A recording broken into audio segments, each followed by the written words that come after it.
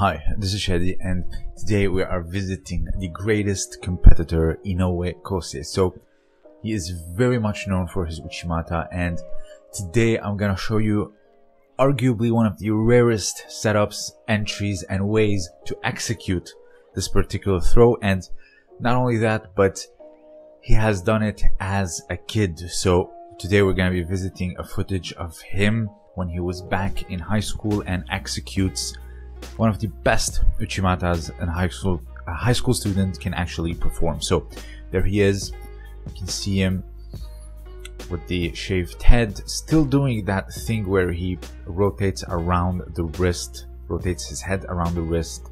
So uh, right versus right, it's very tough to get your grips on. So what he does is get a one-sided grip where the thumb is in and goes for a sublime Uchimata. So he actually has a cross grip where the thumb is in and the arm that would otherwise grab the sleeve is grabbing the lapel and goes in for what is called a one step Uchimata and gets a huge lift, both his forearm on the ground and then throws himself on the ground to complete the throw. Actually, he goes over this in the fighting films DVD link in the description where it's called attack on right side. So as you can see here in this photo, he uses his forearm to push against the head while his thumb is in and the arm that would other or the hand that would otherwise grab the sleeve it would grab either the armpit or the opposite uh, lapel.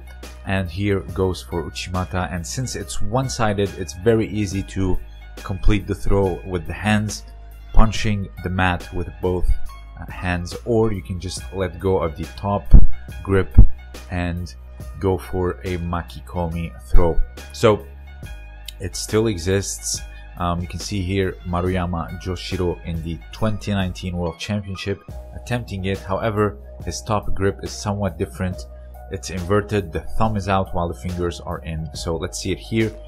Again, um, it's tough to get a you know same side grip, but he gets it and it's very surprising the type of grip and at the same time you would be surprised of how easy it is to get them uh, bending forward.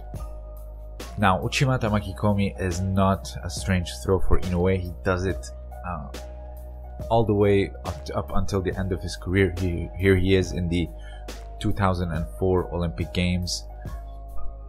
Notice how he lets go of the lapel hand and in order to complete the throw, he lets go and posts his forearm on the mat and gets himself on the ground. Here he is in the 2007 World Championship against the Belarusian. Let's go post forearm on the ground and completes the throw. Um, however, when it comes to Uchimata Makikomi, from what I learned from the Japanese is that they're not a big fan of this variation simply because it means that you are not strong enough to complete the Uchimata. You have to let go and throw yourself on the ground in order to finish it.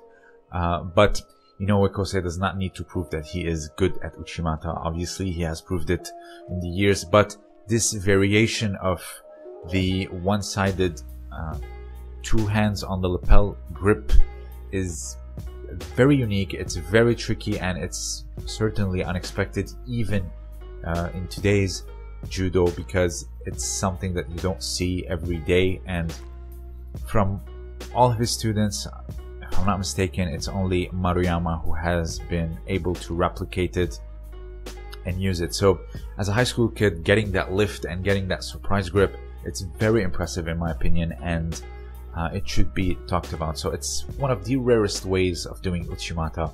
So if you have anything else to add, please let me know down below. This was Chadi and thank you for listening.